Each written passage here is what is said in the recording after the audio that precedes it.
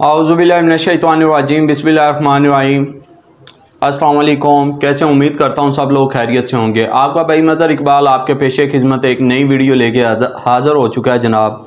आज मैं बताने जा रहा हूँ कि दिन की खुराक, सर्दी के अंदर हम अपने परिंदों को कौन सी खुराक दे सकते हैं और किस तरह से दे सकते हैं और कौन कौन सी खुराक जो है वो अपने परिंदों के लिए मुनासब रहेगी।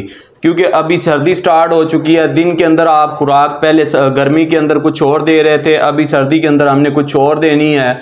किस तरह से देनी है और कौन कौन सी खुराकें देनी चाहिए, वो आज की वीडियो के अंदर हम बात करेंगे और आपको दिखाएँगे कि कौन कौन सी खुराक देनी चाहिए। देखें, ये रात के टाइम इस बाउल के अंदर मैंने कुछ चीज़ें भिगो के रखी थी।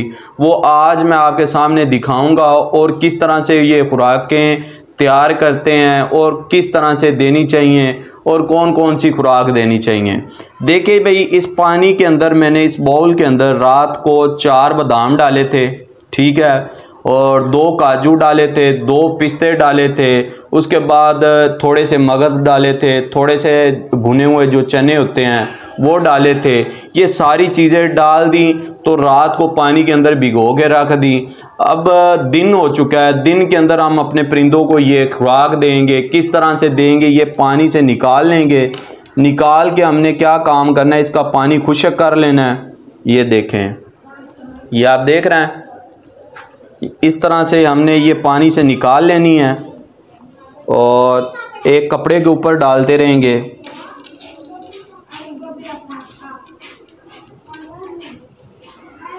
काजू, बादाम, पिस्ता, खरोट और भुने हुए चने, ये चीज़ें आपने डालनी होती हैं जनाब।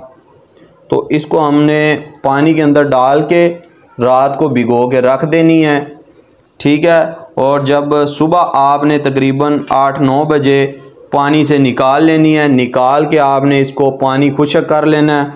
खुशक होने के बाद जनाब इसको हमने छोटा छोटा, छोटे छोटे पीस करने हैं। क्योंकि मेरे पास अभी ये चार परिंदे हैं, मैंने चारों को देनी है। आपके पास एक परिंदा है, दो परिंदे हैं। आप उस मुताबिक अपनी खुराक तैयार कर सकते हैं। और ज़रूरी नहीं है कि आपने यही खुराक देनी है। अच्छा ये हम सूखे भी दे सकते थे, लेकिन सूखे क्यों नहीं दिए? उसकी वजह पता है क्या है? कि इसलिए नहीं दिए सूखे कि सूखा जो होता है वो ये थोड़ा सा कड़क होता है तो इसके गले के अंदर जाके कहीं फंस ना जाए। तो आ, आप छोटे छोटे पीस करके वो भी दे सकते हैं और ये पानी के अंदर भिगो के रखने का मकसद ये है कि ये नरम हो जाएँगे। जब नरम हो जाएँगे तो हम इनके छोटे छोटे पीस कर लेंगे। छोटे छोटे जब पीस हो जाएँगे तो फिर हम इनकी कुपियों में डाल देंगे। ठीक है? ये थी खुराक।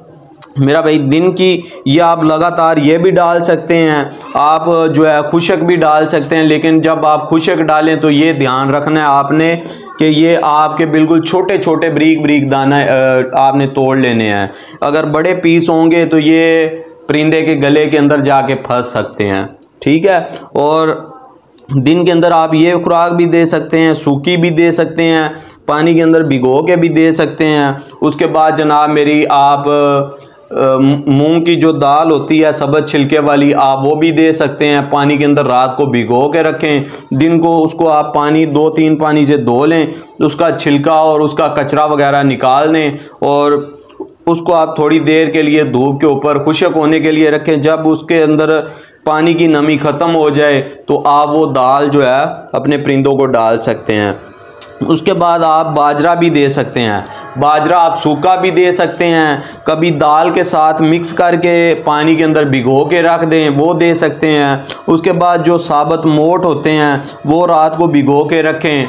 वो आप दिन को उनका पानी खुशक करके, बरीक बरीक करके वो खिला सकते हैं। उसके बाद जो साबत चने होते हैं, वो आप खिला सकते हैं। वो रात को भिगो के रखें। दिन के टाइम उसको आप पानी से निकालें। उसका ऊपर एक छिलका होता है, सफ़ेद, वो निकाल लें। निकालने के बाद इसको आप रगड़ाई कर लें, बरीक हो जाएगा, वो आप इनकी कुपियों में डाल सकते हैं। इस तरह डिफरेंट आप खुराकें देते रहेंगे, कोई मसले वाली बात नहीं है।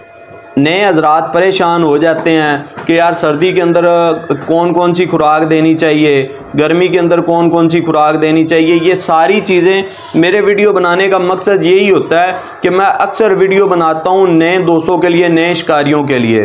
क्योंकि जो पुराने शिकारी होते हैं पुराने हजरात होते हैं, उन्होंने हर तरह के पापड़ बेल के छोड़े होते हैं। वो हर हर सुरंग के रास्ते से वो निकल के गुजरे होते हैं। क्योंकि उनको पता होता है कि कौन से टाइम के अंदर कौन सी खुराक देनी चाहिए, किस तरह से करना चाहिए, उनको हर चीज़ का पता होता है। लेकिन नए हजरात जो होते हैं ना, जिनको नया नया ये शौक़ लगता है तो वो क्या करते हैं कि शौक़ के अंदर उन बेचारों को कोई गाइड करने वाला नहीं होता, उनको समझ नहीं होती। लेकिन वो क्या करते हैं काफ़ी सारी ऐसी गलतियाँ कर जाते हैं जो उनको नहीं करनी चाहिए। लेकिन ये मैं वीडियो इसलिए बनाता हूँ कि नए हजरात, नए शिकारी जो हैं, उनसे कोई गलती ना हो, क्योंकि ये परिंदे कोई ये सस्ते नहीं होते। ये जो सिंधी नस्ल के होते हैं, बहुत महँगे होते हैं, और जो देसी होते हैं ना, वो तो दो दो, तीन तीन हज़ार का भी मिल जाता है, लेकिन जो सिंधी होते हैं, ये थोड़े से महँगे होते हैं। तो आप अपना परिंदा ख़राब जो इतने पैसे लगा के आप परिंदा ख़राब कर लेते हैं, उस चीज़ का अफसोस होता है। फिर उसके बाद ये भी अल्लाह ताला की मखलूक है, ये भी जानदार चीज़ है, लेकिन किसी जान के ऊपर जुल्म ना हो, किसी जान के ऊपर कोई नुकसान ना हो तो इसलिए हम गाइड करते हैं। तो आप मेरा भाईजान, वीडियो को तवज्जो से देखा करें, वीडियो को स्किप नहीं किया करें, और वीडियो को एंड तक देखा करें, जो चीज़ मैं आपको समझाने की कोशिश कर रहा हूँ, वो आप समझ जाया करें। अभी ये जो खुराक थी, ये मैंने निकाल ली हुई है पानी से। इनके छोटे छोटे जो बादाम थे साबत, उनका ऊपर वाला छिलका उतारा है, उतार के इसको नाखून से छोटा छोटा कर रहा हूँ, बरीक कर रहा हूँ, ताकि इनकी कुपियों के अंदर डालूँ, ये सुकून से खाएँ, इनके गले के अंदर जाके कोई बड़ा पीस अटके नहीं। ठीक है, ये काजू के पीस जो बड़े थे, इनको छोटा कर रहा हूँ। बादाम के जो पीस थे इसको इनको छोटा कर रहा हूँ। जो मगज़ होता है, ये तो बिल्कुल छोटे छोटे पीस होते हैं। इनको छोटा करने की ज़रूरत नहीं होती। लेकिन जो काजू, पिस्ता, बादाम, खरोट, ये चीज़ें जो हैं, इनको हमने छोटा छोटा करना होता है। और जो चने होते हैं, इनको हमने छोटा छोटा करना होता है। तो ये बिल्कुल छोटे छोटे करके मैं आपको फिर दोबारा दिखाऊँगा, अपनी हथेली के ऊपर रख के आपको दिखाऊँगा कि किस तरह से ये मैंने खुराक तैयार की है।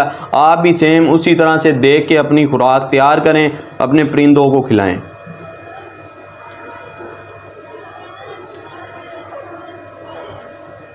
और आजकल मैं अपनी जो वीडियो है वो अपने घर पे इसीलिए बना रहा हूँ कि बारिश जो है ना, एक तो मेरे पास टाइम नहीं होता कि आपको पता है, छोटे भाई को दुकान बना के दी है उसके साथ भी जाना होता है। उसके बाद प्लाट पे काम स्टार्ट हो चुका है, यानी कि उधर जो हमने प्लाट लिया था, उधर भी काम स्टार्ट हो चुका है।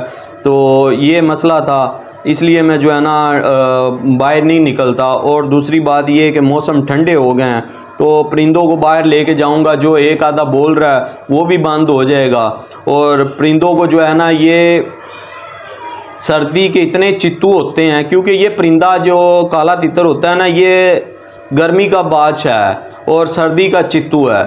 सर्दी इसको थोड़ी सी भी लग गई, नज़ला हो जाएगा। नज़ले से ज़ुकाम, इसका यानी कि बुखार, ये चीज़ें फिर कंट्रोल जल्दी नहीं होती।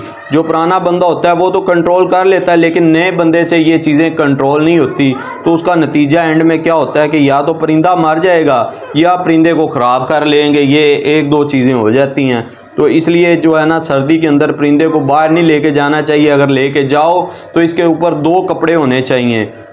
एक जिसको पल्ला बोलते हैं वो एक जो बुग होता है ये ये दो कपड़े हों आप परिंदे को टोरा ज़रूर दें। ये नहीं कि टोरा नहीं दे, देना हमने सर्दी के अंदर। सर्दी के अंदर टोरा देना है लेकिन कपड़े के अंदर देना है। कपड़े से बाहर बगैर नहीं देना।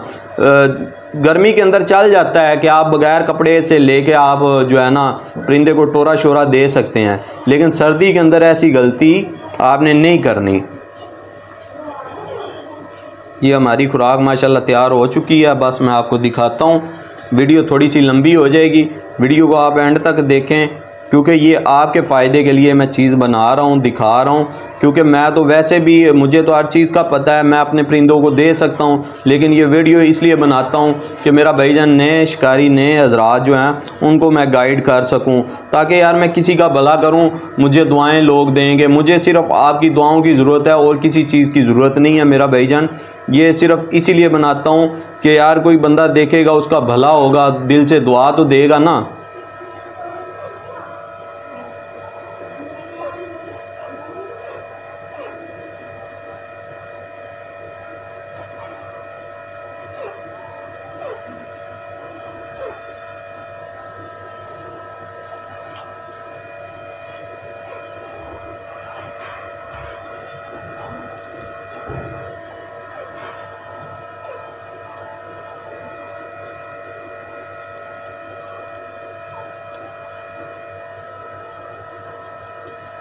सर्दी के आ, सर्दी में आप इनको लेट भी दिया करें, क्योंकि लेट भी देना ज़रूरी होती है, लेकिन उस दिन दिया करें जिस दिन धूप निकली हो, ठीक है? उस दिन लेट भी अपने परिंदों को ज़रूर दिया करें।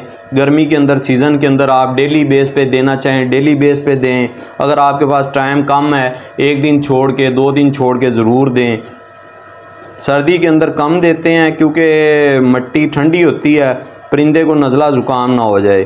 तो गर्मी के अंदर क्या होता है? मट्टी गर्म होती है और ये परिंदा भी गर्मी गर्मी जितनी मर्ज़ी हो, ये बर्दाश्त कर लेता है, सर्दी बर्दाश्त नहीं करता। तो आप सर्दी के अंदर जो है ना, इनको लेट दिया करें। ये नहीं कि आप बोलें कि भाई, सर्दी है तो हम लेट नहीं दें। लेट आपको देनी चाहिए, लेकिन आपको उस दिन देनी चाहिए जिस दिन ज़्यादा धूप निकली हुई हो। ये हमारा जी दाना सारा तैयार हो गया। अभी इनको हम मिक्स कर लेते हैं। मिक्स करके आपको दिखाता हूँ। ये देखें जनाब। हमारा दाना कुछ इस तरह का तैयार हुआ है। ये देखें। ठीक है? इस तरह का आपने तैयार करके अपने परिंदों की कुप्पी में डाल दिया करना है, ठीक है? उम्मीद करता हूँ आप समझ गए होंगे। अगर समझ गए वीडियो को लाइक कर दे, चैनल को सब्सक्राइब कर दे, अपने भाई को दुआओं में याद रखना। इन मिलेंगे किसी नेक्स्ट वीडियो के साथ। अल्लाह हाफिज़।